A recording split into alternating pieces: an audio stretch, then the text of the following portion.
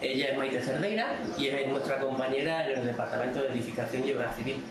Va a participar en esta actividad de cálculo de áreas por triangulación y para ello va a participar justamente con sus alumnos del primer curso de, grado superior.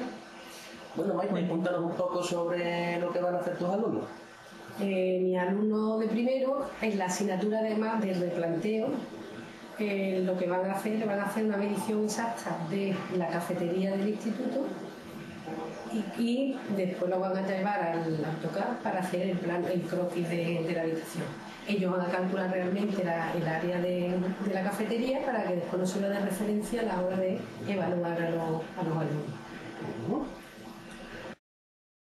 una vez, una vez con ese croquis que hagan los alumnos de primero, se le dará a los alumnos de primero de la ESO para que ellos, in situ, con nuestro material, con nuestros metros y los láser, miran por triangulación la cafetería y sean capaces de calcular el área de la, dependencia de la habitación. El margen, que le va, el margen que le vamos a dar para la hora de evaluar es el margen que se utiliza en las mediciones reales de edificio.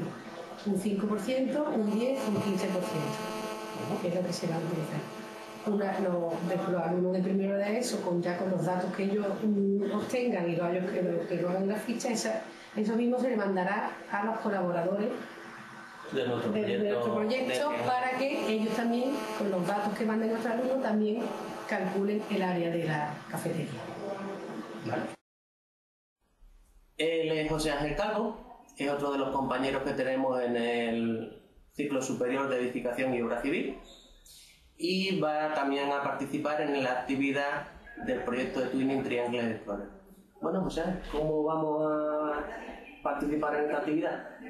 Bien, eh, lo que nos toca a nosotros, también es eh, asesorado, de asesoramiento técnico del levantamiento.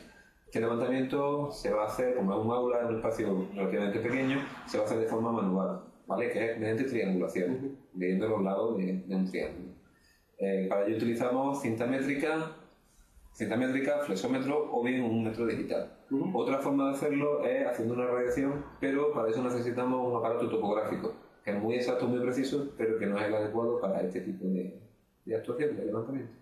Porque lo que nos interesa es que los niños... Claro, que los niños trabajen y cojan el metro y, y, dibujen los triángulos. Los dibujen y los miran. Vale. muchas gracias. Yeah.